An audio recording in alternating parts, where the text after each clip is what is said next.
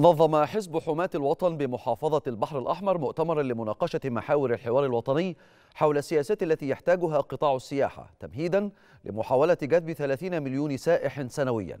ودعا الحضور إلى رفع كفاءة العاملين بقطاع شركات السياحة بما يضمن أعلى مستوى من الخدمة والإسراع بإصدار اللائحة التنفيذية لقانون رقم 8 بشأن إصدار قانون المنشآت الفندقية والسياحية.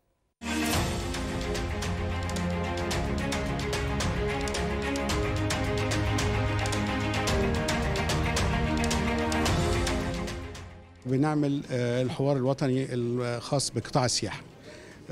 قطاع السياحة زي ما حضرتك عارف إن هو بيدر دخل قومي وإحنا مهتمين بيه بشكل كبير عندنا في الحزب. إحنا بالنهاردة جمعنا العاملين بالقطاع السياحي علشان نشوف إيه أفكارهم، هم محتاجين إيه من الدولة تساعدهم بيه علشان يوصلوا إن إحنا نحقق الخطة العامة اللي هي بتعظم الدخل الحالي. حزب حماية الوطن متبني وراعي لأول حوار وطني لكل العاملين بقطاع السياحة في نطاق البحر الأحمر.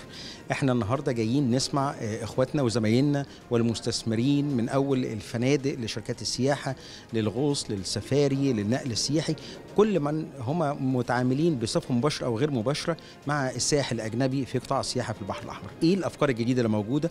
إزاي نقدر نساعد الدولة في إن إحنا نبتدي نضخم ونعظم من موارد الدولة المصرية في قطاع السياحة سواء في الأعداد الوافدة لبلدنا أو في حتى في مستوى الدخل القومي اللي بيجي من قطاع السياحة.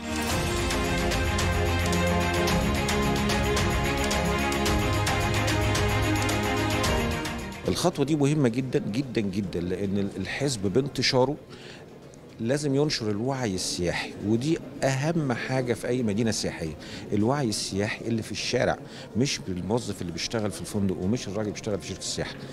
الشارع أهم حاجة إن الناس لازم ننشر الوعي إن الناس اللي جاية دي ناس ضيوف نهتم بيها ونعملها كويس ونحترمها عشان يرجعوا. إحنا النهارده محتاجين نشتغل على مش الفنادق بس أو المنتجعات السياحية بس بقى محتاجين نتكلم برضو على المنتجع نفسه أو كالمدينة نفسها تبقى جاذبة للسياحة بشكل مختلف. ده هيدي إضافة جدا للسياحة بوجه عام وإحنا عندنا النهارده مميزات وخصائص كتير لازم نستغلها ونستفيد منها.